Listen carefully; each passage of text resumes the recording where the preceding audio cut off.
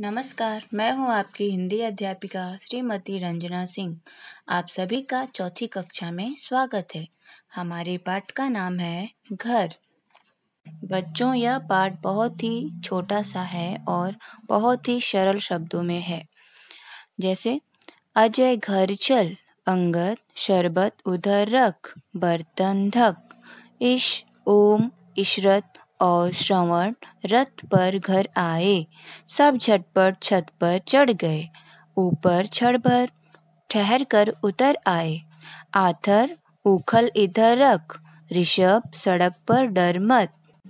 आंचल, अब ऐनक पहनकर फलक पर अंग, य, अह, त्र और ज्ञ पढ़। बच्चों, इस पाठ के माध्यम से लेखक ने घर व उससे जुड़े साधनों की जानकारी दी है। यहाँ पर एक घर का दृश्य दिया गया है। आपको ऐसा ही बनाने का अभ्यास करना है। कुछ कठिन शब्दों के अर्थ स्पष्ट कर देती हूँ मैं।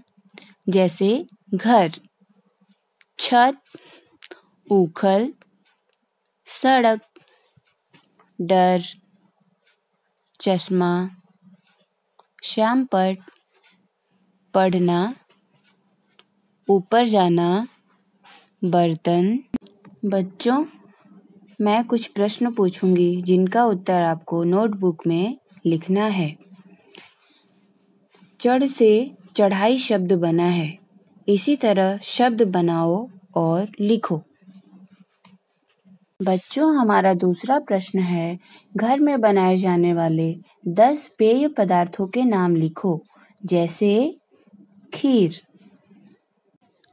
बच्चों, एक मैं एक्टिविटी दे रही हूँ, जो आपको बनाने में बहुत ही आनंद मिलेगा। ध्यान से सुनिए। कागज़ से घर में सजाने वाली कोई तीन चार वस्तु बनाकर अपने घर को सजाओ। तो बच्चों, आपने देखा, ये पाठ कितना ही सरल था। इस पाठ को आप सभी को कई बार पढ़ने का अभ्यास करना है और पाँच बार सुंदर अक्षरों में लिखने का अभ्यास करना है। धन्यवाद।